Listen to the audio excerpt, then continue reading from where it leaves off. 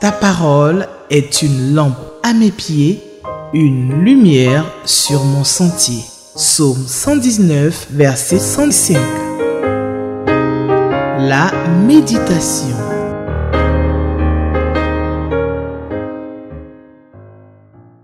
Chers bien-aimés, que la paix de Dieu, qui surpasse toute intelligence, tout ce qu'on peut concevoir, garde vos cœurs et vos pensées sous la protection de notre Sauveur Jésus-Christ. C'est pour cela que ce matin, je voudrais vous inviter à nourrir vos pensées par les belles promesses de notre Seigneur contenues dans la parole de Dieu. Nous lirons et méditerons aujourd'hui dans Jean chapitre 17, versets 1 à 13. Nous prions avant de méditer la parole de Dieu. Notre Dieu, notre Père, nous te bénissons et nous te rendons grâce parce que tu nous as donné la paix véritable en Jésus. Nous avons reçu toute grâce en toi. Sans toi, nous ne sommes rien. Sans toi, nous ne pouvons rien. Nous avons chaque jour besoin de ta présence. Nous avons chaque jour besoin de ton Esprit Saint pour nous éclairer, afin de comprendre ta volonté, afin de comprendre ce qu'il faut faire, ce qu'il ne faut pas faire sur cette terre, afin d'honorer ton nom. Bénis ta bonne parole que nous allons lire et méditer ce matin. Donne-nous de la mémoriser, de la garder dans nos cœurs, afin qu'elle nous conduise, afin qu'elle déteigne sur notre caractère, sur nos comportements. Bénis chacun de nous. Bénis mes frères et mes sœurs qui sont à l'écoute et qui participent ce matin à cette méditation de la parole de Dieu. Merci Seigneur. Amen. Nous lisons dans Jean chapitre 17, verset 1 à 13, une belle prière, la prière finale de notre Seigneur Jésus-Christ avant d'aller à la croix. Et dans cette prière, au verset 1, il dit, la Bible dit, après avoir ainsi parlé, Jésus leva les yeux au ciel et dit, Père, l'heure est venue, glorifie ton Fils, afin que ton Fils te glorifie, selon que tu lui as donné pouvoir sur toute chair, afin qu'il accorde la vie éternelle à tous ceux que tu lui as donnés. Or, la vie éternelle, c'est qu'il te connaît, toi le seul vrai Dieu, et celui que tu as envoyé, Jésus-Christ. Je t'ai glorifié sur la terre. J'ai achevé l'œuvre que tu m'as donnée à faire. Et maintenant, toi, Père, glorifie-moi auprès de toi de la gloire que j'avais auprès de toi avant que le monde fût. J'ai fait connaître ton nom aux hommes que tu m'as donnés du milieu du monde. Ils étaient à toi et tu me les as donnés et ils ont gardé ta parole. Verset 7. Maintenant, ils ont connu que tout ce que tu m'as donné vient de toi. Car je leur ai donné les paroles que tu m'as données et ils les ont reçues. Ils ont vraiment connu que je suis sorti de toi et ils ont cru que tu m'as envoyé. C'est pour eux que je prie. Je ne prie pas pour le monde, mais pour ceux que tu m'as donnés parce qu'ils sont à toi. Et tout ce qui est à moi est à toi et ce qui est à toi est à moi et je suis glorifié en eux. Je ne suis plus dans le monde et ils sont dans le monde. Et je vais à toi, Père Saint, garde en ton nom ceux que tu m'as donnés afin qu'ils soient un comme nous.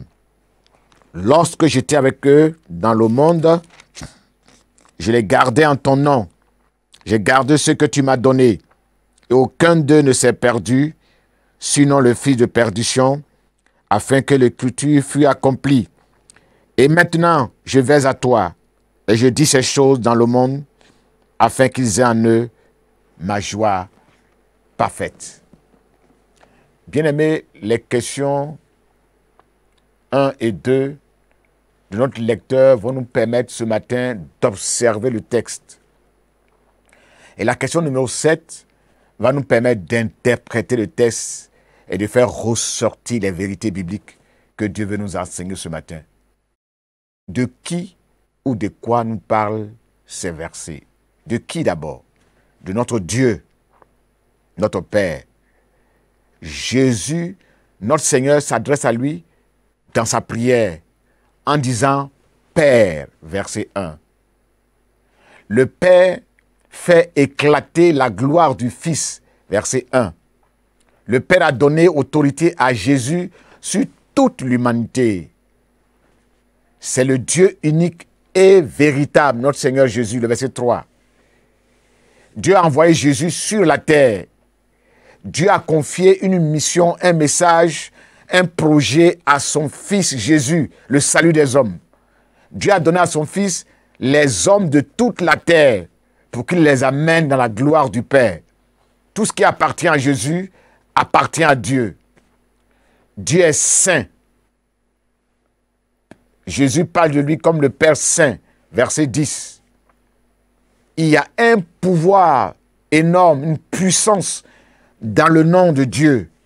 C'est pour cela que Jésus dit à son Père dans sa prière, garde-les par le pouvoir de ton nom glorieux. Verset 12.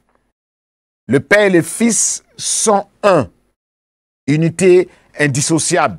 Dieu a donné à son Fils puissance et autorité sur toute chair, sur toute la race déchue, sur toute la race humaine. Qu'est-ce que ce texte nous apprend sur notre Seigneur Jésus-Christ? Notre Seigneur Jésus aussi prie, comme nous prions nous les chrétiens. Il prie son Père. Il a une gloire qui lui a été attribuée depuis les origines du monde. Au verset 5. Jésus donne la vie éternelle, la vie abondante. Jésus est l'envoyé de Dieu. Il est venu d'auprès du Père, il descend du ciel. Jésus a fait connaître son Père. Jésus a transmis fidèlement le message que son Père lui a confié, verset 8. Jésus prie pour ses disciples. Bientôt, Jésus ne sera plus dans ce monde. Il va retourner vers son Père, au verset 11. Jésus prie pour l'unité de ses disciples, verset 11. Jésus prie pour que ses disciples soient protégés et qu'aucun Dieu ne, ne soit perdu. Verset 12. Jésus a la capacité de donner la joie parfaite, la joie différente de la joie que le monde donne. Jésus donne sa parole. Jésus est le chef de tout homme. 1 Corinthiens 11, verset 3. Ce texte nous parle aussi du diable. Jésus prie pour que Dieu préserve ses disciples du diable, du dévoreur, verset 15. De quoi nous parle, bien-aimé, ces versets? Ces versets nous parlent du ciel. Nous parlent des yeux de Jésus. Nous parlent de l'heure qui est venue, de la gloire de Jésus et de la gloire de Dieu, de l'autorité et de la puissance de Jésus, de la vie éternelle. Et cette vie éternelle-là, la signification de la Bible, c'est connaître Dieu, connaître son Fils. En effet, celui qui croit au Fils a la vie éternelle. Et celui qui ne croit pas au Fils ne verra pas la vie, mais la colère de Dieu demeure sur lui. Jean 3, 36. Ce texte nous parle de l'œuvre de Dieu, du message de Dieu, des origines du monde, du monde, de la parole de Dieu, du reste des hommes, du pouvoir du nom de Dieu, de la joie parfaite en Jésus, de la haine du monde ce texte aussi est un bilan, un compte-rendu, un rapport de fin de mission de notre Seigneur Jésus-Christ. Ce texte est une prière profonde qui laisse transparaître le fond du cœur de Jésus, son amour pour son Père. Est-ce que ce passage bien-aimé m'apprend quelque chose sur Dieu le Père, sur Dieu le Fils, sur Dieu le Saint-Esprit? Sur Dieu le Père, ce texte nous dit que Dieu est notre papa, Dieu est notre Dieu, est notre Père on peut lui adresser nos prières, nos requêtes, nos besoins. Dieu seul a le pouvoir de faire paraître la gloire de son Fils, de faire reconnaître la gloire de, son Fils, de montrer que Jésus est vraiment son Fils bien-aimé. Ce texte nous dit que Dieu est unique, il n'y a pas quelqu'un comme lui. Il est véritable, il est grand et il est glorieux. C'est Dieu qui a retiré les disciples, les enfants de Dieu de ce monde, et les a conduits vers son Fils Jésus. Dieu partage sa perfection et sa gloire avec son Fils. Glorifie ton Fils afin que ton Fils te glorifie. La gloire du Père et la gloire du Fils sont intimement liées. leurs intérêts ne sont pas séparés. Il y avait entre eux une unité parfaite de pensée, une unité d'action. Ils font les mêmes choses. Ils se comportent de la même manière. Sur Jésus-Christ, le texte nous dit que Jésus a confiance en son Père. Il s'adresse à lui chaque jour et il exprime sa dépendance vis-à-vis de lui. Il reconnaît que sans son Père, il n'est rien. Il le fait devant ses disciples pour qu'ils apprennent aussi à s'adresser à Dieu comme un Père, comme lui le fait. Jésus, notre Seigneur, est préoccupé par une seule chose. Comment faire apparaître la gloire de son Père? Comment faire connaître son nom? Comment glorifier son nom? C'est la mission de tous les êtres sur cette terre. Dieu, Jésus-Christ a glorifié son nom par son obéissance, par ses miracles, par la parole de Dieu, par la vie saine qu'il a menée dans l'obéissance, dans la soumission et dans le renoncement. Jésus est venu sur la terre pour apporter la vie éternelle. Lui seul peut apporter cette vie éternelle. Tout ce qui appartient à Dieu appartient à Jésus. Leur héritage, leurs biens leur sont communs. De façon constante, Jésus confesse que bientôt, il ne sera plus dans ce monde. Il retournera auprès de son Père après sa mission, après sa mort et sa résurrection, il retournera dans la gloire du Père. L'unité du Père et du Fils est une réalité palpable, tangible, réelle dans ce texte. La protection des enfants de Dieu est une priorité du Père et du Fils. Il n'y a pas de pause dans cette protection. Dès que le Fils n'est plus sur la terre et qu'il est dans la tombe, le Père prend la relève, ainsi que le Saint-Esprit pour garder les disciples. Jésus confie cette brebis à son Père seul, qui a le pouvoir de les garder. Il les place entre les mains de son Père, sous sa couverture. Jésus est le bon berger, bien-aimé, qui sait garder ses brebis, qui sait les protéger, son troupeau. Jésus est un bon leader, un bon manager. Il sait faire un bilan détaillé. Et nous devons faire comme lui. Il sait faire un compte rendu à son supérieur hiérarchique, qui est son père, qu'il a envoyé en mission. Jésus exécute parfaitement son rôle d'intercesseur et de médiateur, de souverain sacrificateur dans ce texte. Il prie pour les siens. Dans 1 Timothée 2, 5 à 6, il dit en effet, il n'y a qu'un seul médiateur entre Dieu et les hommes. Et de même, il n'y a que Jésus-Christ qui s'est offert en sacrifice afin de libérer l'humanité. Sa vie est une rançon qui nous rachète de tous nos péchés, de l'esclavage. Hébreu 4, verset 14. Ainsi, nous avons un grand souverain sacrificateur qui a traversé les cieux, Jésus le Fils de Dieu. Demeurons donc fermes dans la foi que nous professons.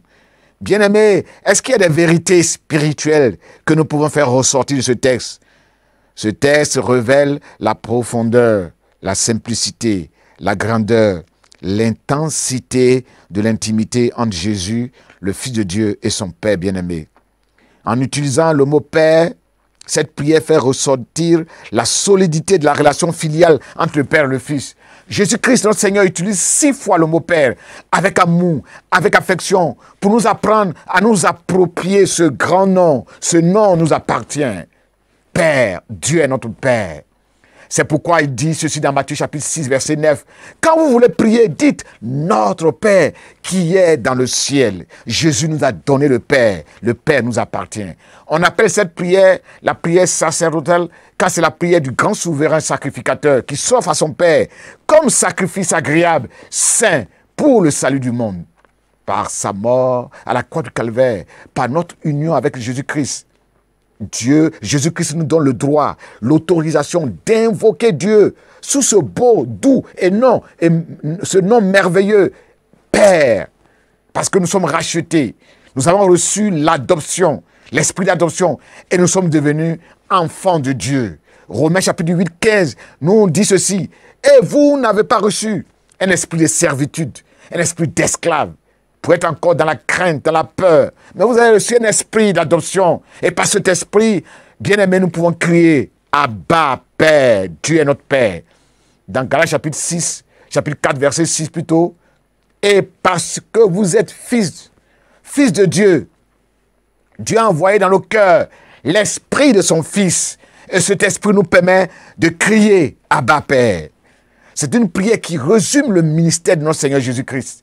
Il est venu sur la terre pour plaider, pour intercéder auprès de son Père avec son propre sang qui a été versé à la croix du calvaire pour le salut de l'humanité, pour nous racheter, pour couvrir nos fautes, nos péchés qui nous séparaient de Dieu, notre Père. Et en mourant à la croix du calvaire, il nous a remis dans notre filiation avec le Père. La confiance entre le Père et le Fils n'exclut pas l'évaluation, le bilan, le contrôle de fin de mission, la redevabilité, l'obligation de rendre compte. Le Seigneur Jésus-Christ rend compte à son Père en disant, j'ai achevé la mission que tu m'as confiée, j'ai fait connaître ton nom aux hommes. Le Maître nous donne un bel exemple, un modèle à suivre. Car quand, quand on est chargé d'une mission, on doit rendre compte à son mandant à son supérieur en suivant les étapes suivantes. La première étape, Jésus a d'abord rappelé à son Père la mission que son Père lui a confiée. Cette mission, c'est quoi? C'est donner la vie éternelle aux hommes. C'est leur faire connaître le nom de Dieu, le seul vrai nom, le seul vrai Dieu et son Fils afin qu'il l'adore, afin qu'il le suive lui seul, afin qu'il le serve lui seul, afin qu'il lui obéisse lui seul, afin qu'il s'abandonne à lui lui seul et qu'il dépende de lui seul. C'est ça la vie éternelle. C'est comme ça que le nom de Dieu est glorifié, honoré, manifesté sur terre.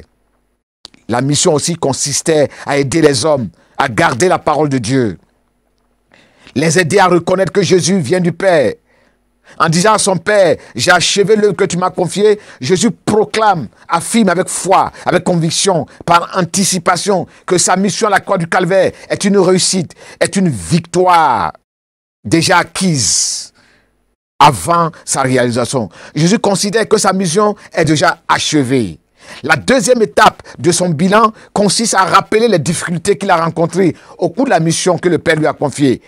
Il dit à son Père que il y a un qui a abandonné, il y a un qui est, tombé, qui a connu une chute, qui a connu une défaite. C'est le fils de la perdition, Judas, Iscariote. Et cela en conformité avec les prophéties des Écritures. Il dit aussi à son père que le monde est, le monde n'aime pas ses disciples. Le monde persécute les enfants de Dieu car ils ne sont pas de ce monde. Ils n'appartiennent pas à ce monde. Ils sont à Dieu. Et enfin, dans la troisième partie de son bilan, il rappelle les perspectives, les actions futures. Il le fait dans sa prière en disant, je prie pour eux afin que tu les protèges des assauts du diable. Parce qu'il sait que le diable va venir les égorger, les détruire. Il prie pour leur unité, unité avec Dieu, le Père, unité avec le Fils, unité avec le Saint-Esprit, unité entre eux-mêmes pour former le corps de Christ indivisible. Il prie aussi pour leur future entrée dans le royaume de Dieu, pour partager avec eux sa gloire, pour être à côté de lui. Dès le verset 1, Jésus demande à son Père sa glorification, sa réintégration dans la gloire éternelle. Il recherche la plénitude, la puissance divine, afin de manifester tous les attributs divins. Cette action va ainsi contribuer à la gloire du Père. Cette glorification, c'est-à-dire s'asseoir à la droite du Père, est une juste rétribution, une récompense que Jésus réclame parce qu'il est victorieux, parce qu'il est vainqueur, parce qu'il a gagné le combat, il a gagné la guerre. Le Père aime le Fils et lui a remis toutes choses entre ses mains. Jean 3, 35.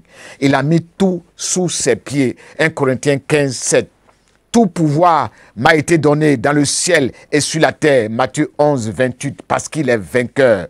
Dieu a établi son Fils héritier de toutes choses. Hébreu 1, 2.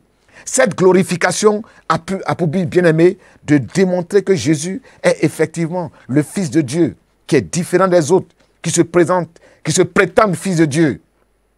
Car tout ce qui est à toi est à moi en donnant à son Fils puissant sur toutes choses, Dieu révèle ainsi au monde entier que c'est à Jésus seul que revient le pouvoir de sauver ce monde perdu, d'accorder le trésor inestimable qu'on appelle la vie éternelle. En dehors de la connaissance de Dieu et de son Fils Jésus-Christ, il n'y a pas de vie éternelle. Il n'y a pas un autre salut. La vraie vie, bien-aimée, se trouve en Jésus-Christ. Et cette vie-là, c'est de connaître le vrai Dieu et son Fils Jésus-Christ. L'homme sans relation avec Dieu n'est pas vivant. Il est mort. Jésus prie pour ses disciples afin que les conditions soient réunies pour qu'ils aient accès aux grâces de Dieu en Jésus, afin qu'ils soient gardés par Dieu, afin de vivre l'unité du corps de Christ, afin d'avoir la joie de Jésus, cette joie parfaite, cette consolation parfaite. Et pour avoir accès à toutes ces bonnes choses, il faut garder la parole de Dieu. Il faut croire en Jésus, croire à celui qui l'a envoyé, croire en Dieu, glorifier le nom de Jésus-Christ par notre témoignage. Au verset 11, il dit Seigneur, Père, garde-les en ton nom. Vrai, bien-aimé, il y a une puissance dans le nom de Dieu et dans le nom de Jésus. Connaître Dieu, c'est découvrir tous les trésors cachés dans ce glorieux nom. Ce nom qui sauve, qui guérit, qui transforme, qui, qui renouvelle, qui donne la force pour marcher. Proverbe 18, verset 20 dit ceci. Le nom de Dieu est une tour forte. Le juste s'y réfugie et se trouve en sûreté. Psaume 9, verset 1 à 14. Puisqu'il m'aime, je le délivrerai, je le protégerai, puisqu'il connaît mon nom. Verset 12.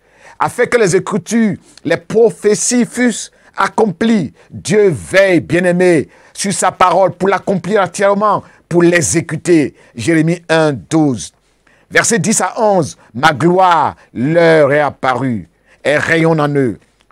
Jésus ne sera plus sur la terre, mais ses disciples vont continuer de rester sur terre pour continuer à briller, pour continuer à rayonner, pour continuer à porter des fruits glorieux, pour continuer à demeurer toujours le sel et la lumière de ce monde. Verset 13. Afin qu'ils aient en eux ma joie parfaite, celle qui ne se fait suivre d'aucun chagrin, d'aucun trouble, d'aucune crainte. Cette joie différente de celle que le monde donne. Celle que le monde donne est basée sur des artifices, des plaisirs charnels, éphémères, fugaces, les tromperies de ce monde. Mais la joie parfaite que Dieu donne est donnée par le Saint-Esprit, en dépit des circonstances, qu'elles soient heureuses ou malheureuses, défavorables ou favorables. Cette joie tire sa source de la joyeuse assurance que nous avons en Dieu et en Jésus, et qui dit ceci, je ne vous laisserai jamais orphelin, je serai tous les jours avec vous. Bien-aimés, que pourrons-nous retenir à la fin de notre méditation de ce matin? Nous allons reprendre le verset 15, un beau verset. Je dis à son Père, j'ai glorifié ton nom. Oui, en effet, le rôle d'un fils est de glorifier le nom de son Père qu'il porte, en portant beaucoup de fruits, en gardant ses commandements et en les pratiquant.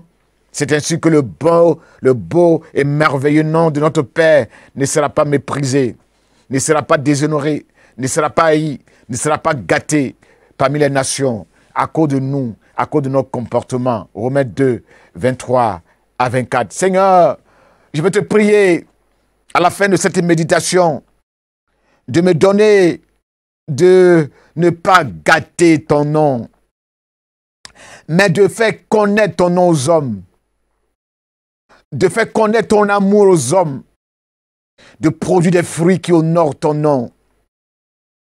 Aide-moi, Seigneur, à accomplir ma mission. Aller jusqu'au bout comme le Seigneur Jésus. Merci, Père, parce que tu me, tu me, tu te présentes à moi comme un Père. Tu es mon Père. Je peux te parler. Je peux communiquer avec toi. Je peux, Seigneur, te demander ce que je veux et tu me donnes cela. Tu m'as donné l'héritage du Fils de Dieu, de Jésus. Merci de ce que tu es avec moi tous les jours. Par le Saint-Esprit, tu me gardes, tu me soutiens, tu me conduis. Merci pour les grandes bénédictions qui m'attendent encore dans le ciel. Donne-moi de garder ton nom, de glorifier ton nom, de persévérer jusqu'au bout, afin que tu, sois glorifié comme ton Fils. Merci pour ton œuvre. Merci pour ton œuvre à la croix du calvaire, pour que je puisse connaître le Père de Jésus, le Père qui sauve, le Père qui guérit, le Père dont le nom m'appartient. À toi la gloire, à toi la louange et l'honneur au siècle des siècles. Amen. Ta parole est une lampe à mes pieds une lumière sur mon sentier. Psaume 119, verset 105. La méditation.